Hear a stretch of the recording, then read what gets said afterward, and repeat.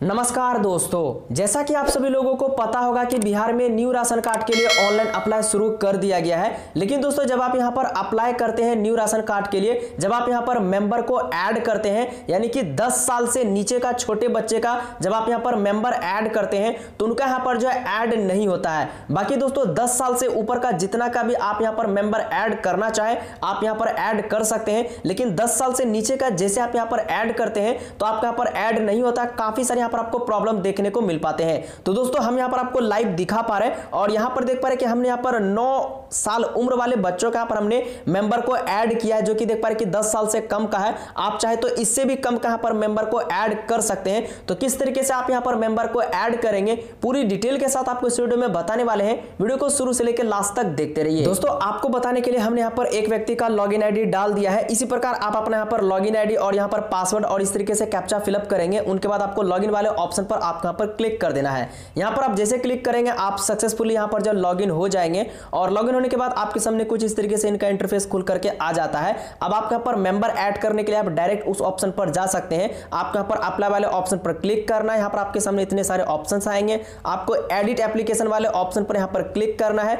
अब यहाँ पर देखिए, एप्लीकेंट आ चुका है, मेंबर आ चुका है और यहाँ पर अपलोड डॉक्यूमेंट और फाइनल सबमिट। हम यहाँ पर मेंबर ऐड करना है तो डायरेक्ट हम यहाँ पर मेंबर वाले ऑप्शन पर क्लिक करेंगे। तो ये जो पेज हमें मेंबर वाले ऑप्शन पर इस तरीके से डायरेक्ट लेकर के चले जाएगा इस तरीके से यहाँ पर आ जाएगा यहाँ पर नीचे आएँगे तो इस तरीके से देख पाएगा हमारे पर कितना मेंबर ऐड हुआ है वो यहाँ पर देखने को मिल पा रहा है तो इस वीडियो में हम आपको बताने वाले हैं कि आप यहाँ पर 10 साल से कम एज वाले बच्चे का कैसे आप यहाँ पर नेम को ऐड करेंगे तो फटाफट हम यहाँ पर एक डिटेल डाल देते हैं जैसा कि आप लोग देख पा रहे हैं हमने यहाँ पर सभी डिटेल को डाल दिया है केवल हमने यहाँ पर डेट ऑफ़ बर्थ और उम्र को हमने यहाँ पर फिलअप नहीं किया है कुछ लोग यहाँ पर बोलते हैं कि सर हम यहाँ पर इनका आय का स्रोत क्या डालेंगे क्योंकि यहाँ पर बच्चा है कुछ नहीं करता है तो कुछ नहीं करता दोस्तों आप यहाँ पर डायरेक्ट ज़ीरो डाल दीजिए कोई भी दिक्कत नहीं है उनका मासिक आय क्या है कोई भी मासिक आय नहीं है तो आप यहाँ पर डायरेक्ट ज़ीरो लगा दीजिए इस तरीके से आप यहाँ पर सारा डिटेल को फिलअप कर देंगे अब रही बात यहाँ पर 10 साल से कम उम्र वाले बच्चों के यहाँ पर कैसे मेंबर ऐड करेंगे तो जन्म तिथि वाले ऑप्शन पर आप यहाँ पर जैसे क्लिक करेंगे आपके सामने यहाँ पर कैलेंडर खुल करके आ जाएगा जो भी यहाँ पर उनका डेट ऑफ़ बर्थ होगा आप यहाँ पर डेट ऑफ़ बर्थ डालेंगे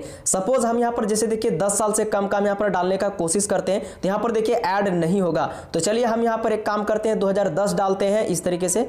2010 हमने यहाँ पर एयर सेलेक्ट कर लिया, कोई भी हम यहाँ पर डेट ले लेते हैं। तो यहाँ पर देखिए 2010 हमने यहाँ पर जैसे ही डाला तो उनका उम्र 12 साल आ गया, कोई भी दिक्कत नहीं है।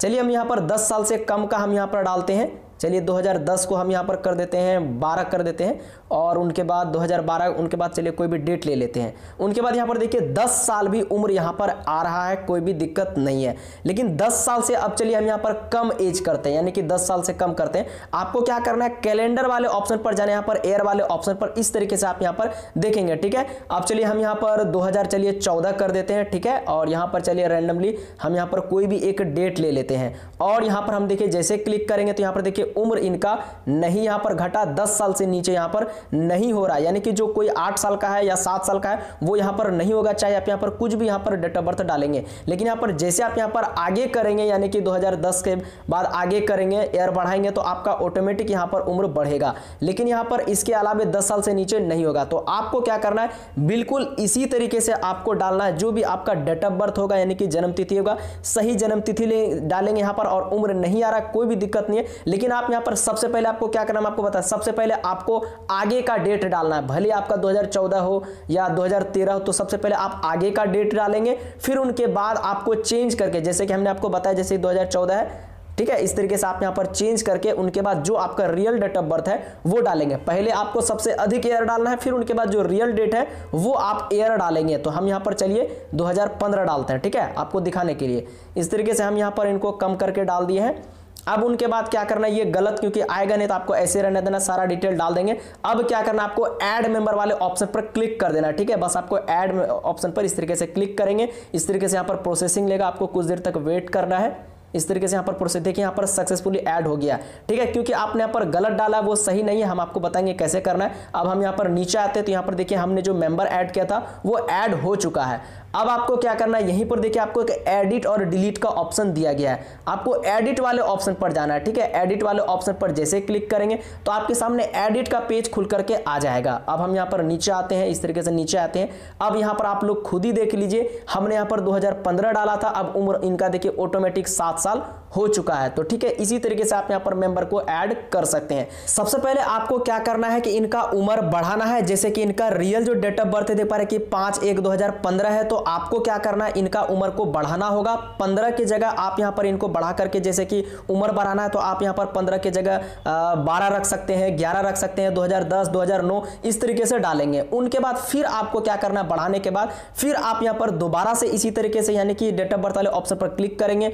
फिर उनके बाद आपको दोबारा से यहाँ पर आपको क्या करना है? कैलेंडर वाले ऑप्शन पर जाना है। अब आपको बदल करके जो इनका रियल डेट ऑफ़ बर्थ है, यानी कि रियल जो एयर है, वो आपको सिलेक्ट करना है। यहाँ पर आप जैसे सिलेक्ट करेंगे तो आपका यहाँ पर उम्र में कोई भी बदलाव नहीं होगा बाकी जैसा वैसे ही रहेगा। बस आपको सही डिटेल डालने के बाद आप एड मेंबर वाले ऑप्शन पर क्लिक करके मेंबर ऐड कर देंगे। बाकी आपको नीचे आना है एडिट वाले ऑप्शन पर। एडिट वाले ऑप्शन पर आप जैसे क्लिक करेंगे तो आप वहाँ पर देखेंगे आपका यहाँ पर जो उम्र है वो ऑलरेडी यहाँ पर घटा हुआ मिलेगा। यानी कि उम्र उम, इनका जो उम्र है वो सही यहाँ पर आपको देखने को मिलेगा। तो इसी तरीके से आप यहाँ पर कम एज वाले बच्चों का यहाँ पर जो उम्र यहाँ पर आसानी से यहाँ पर जो है घटा सकते हैं। इसी प्रकार आप यहाँ पर 10 साल से कम एज वाले बच्चों का मेंबर ऐड कर सकते हैं। वीडियो पसंद आए तो वीडियो को लाइक करें, अपने फ्रेंड के साथ ज़रूर शेयर करें, ताकि उन लोगों को भी इसके बारे में जानकारी मिल सके। चैनल को ज़रूर सब्सक्राइब कर लें, इसी तरह की इन्फॉर्मेशन पाने के लिए।